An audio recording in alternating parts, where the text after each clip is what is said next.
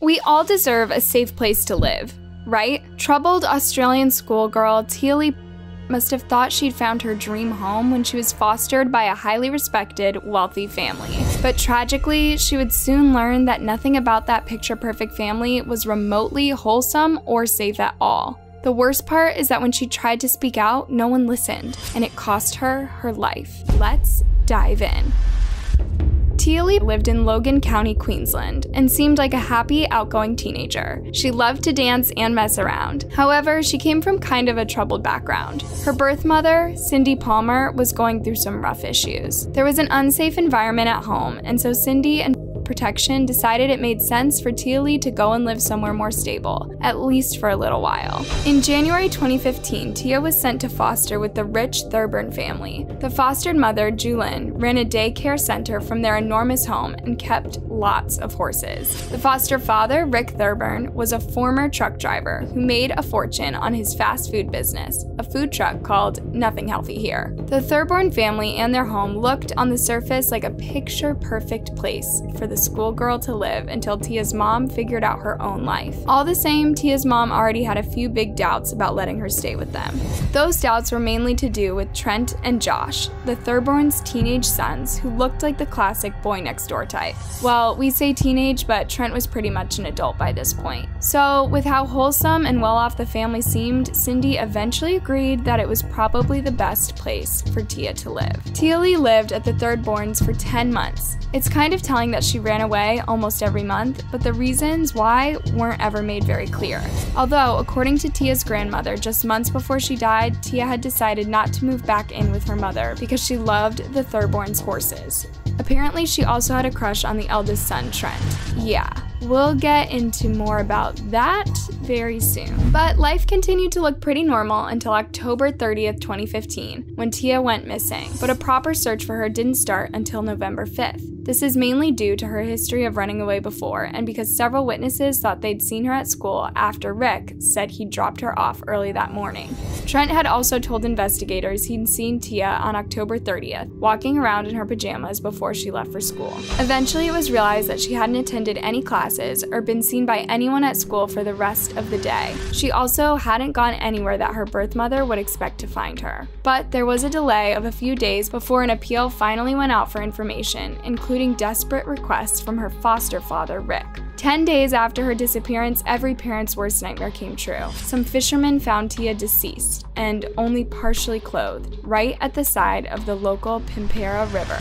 It was hard to figure out what had happened to her, given how long she'd been in the water. Even identifying her as a girl had been difficult. Because she wasn't in her school uniform, police began searching for it, and her distinctive pink backpack, hoping to find more clues about what happened to her. It seemed likely that someone had grabbed her while walking to or from school. Although 300 previous offenders in the area were rounded up and interrogated, nothing useful came from that line of questioning either. Over the next few months, the police continued to question her classmates, and a well attended vigil was held in her memory. People even wore purple because it was her favorite color. But for a long while, nobody could find anything helpful. Eventually, in May 2016, an anonymous tip off came through to the Crime Stoppers helpline. This call meant that the police were able to find the person who dumped poor Tia by the river. The caller revealed details of a family meeting held by the Thorburns. This was allegedly on the day before a social worker noted Tiahleigh was absent from high school. At this meeting, it had been revealed that Trent had inappropriate relations with his foster sister, like the most inappropriate.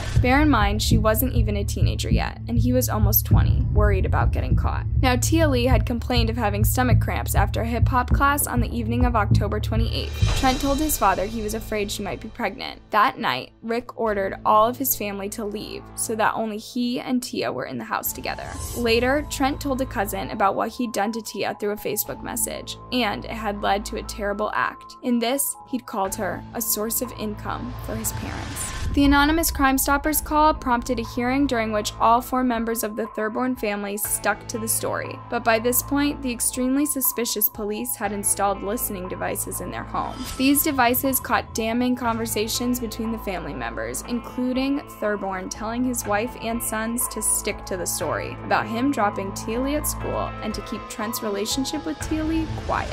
Rick had informed his family that it's all taken care of. He told them not to ask any questions they didn't need to know the answers to. He'd hidden her body and was planning to get rid of her the following night. All four members of the Thorburn family were arrested in September 2016. So the police searched Rick's car, which had been sold on since her disappearance, looking for evidence. He had driven the school route and lied about seeing Tia meet a friend. In a police interview, Josh Thorburn, 22, told of the moment he knew what Rick had done to his foster sister. His exact words were, Tia is no longer with us.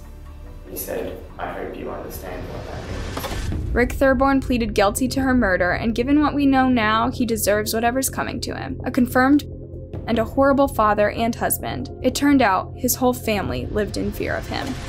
They just did as they were told by Rick. It was he, he was a controlling figure.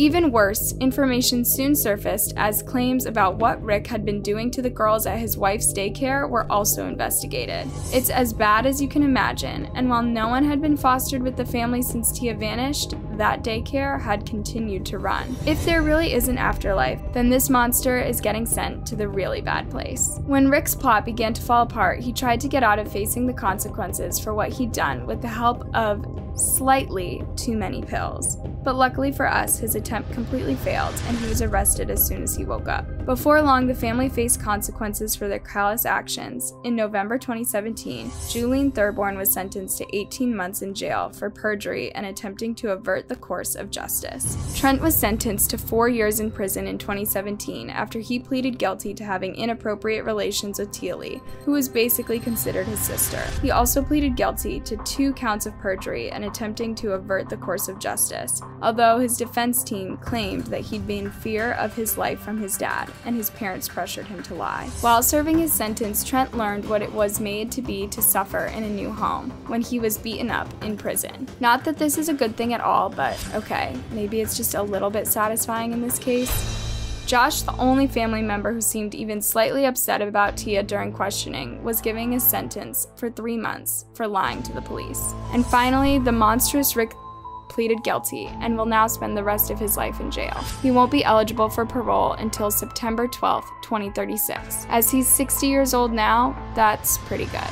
But even with Rick locked away for a long time, no one can know what had actually happened to Tia on that awful evening. He claimed in a letter that he had no memory of the event, so it didn't seem we would ever know. But that all changed on June 8, 2021.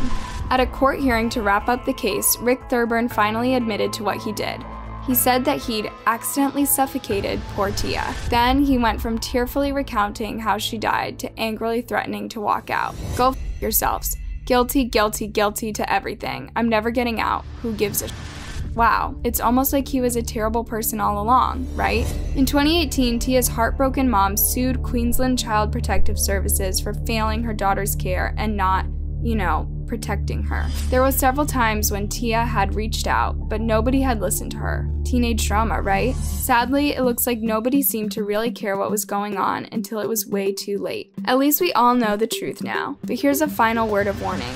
Trent has recently been identified by women using Tinder. Some of those who realized it was him have said they feel sick as he may target women who may be too young to remember his crimes. So be super careful who you swipe right on in Queensland. It disgusts me so much that he's even allowed to walk the streets as a free man after what he did to Tia.